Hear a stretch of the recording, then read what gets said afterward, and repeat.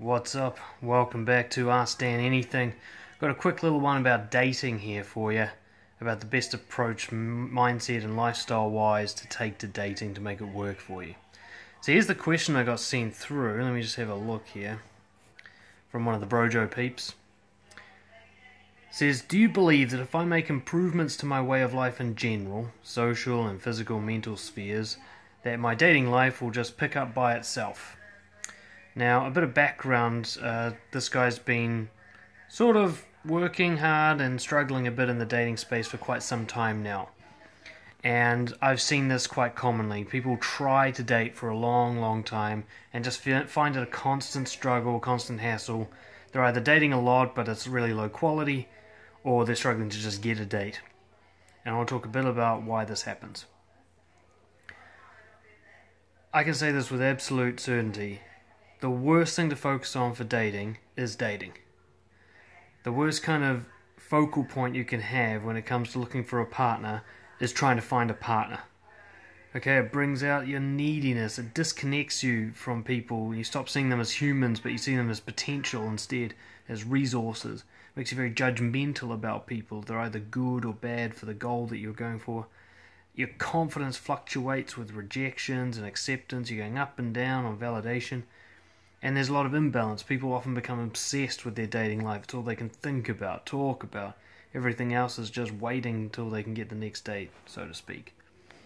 So basically, it just it puts you in the least likely to succeed mindset, ironically, with the most focus. I saw a great quote on the internet the other day. I think it was from the author Neil Strauss. He says, Instead of trying to find a person of value to love you, focus on becoming a person of value that you could love. Words to that effect. And ultimately, this is what changed my life when I committed, instead of trying to find a partner, into trying to develop myself into someone that I could be proud of and someone that I'd love, uh, my dating life flourished. And what this means in practical terms is creating a fun, fulfilling, challenging, self development style lifestyle where you're building yourself into a person you love. You're trying to overcome your fears. You're trying to develop your strengths and and work around your weaknesses. You're building skills. You're building events and hobbies and patterns into your life that makes being single awesome, essentially. Now, if you want to make this practical to help your dating life, you can just add a twist of making this as social as possible.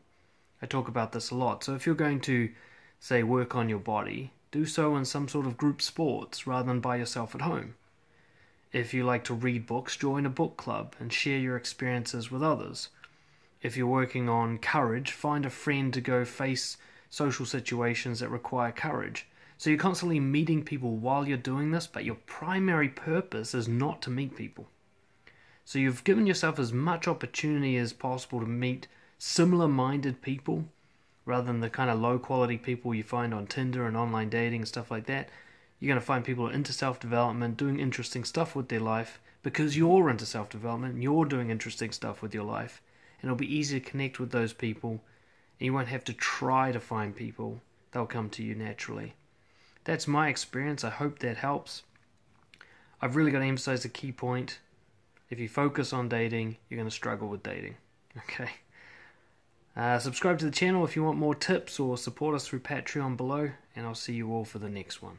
Cheers.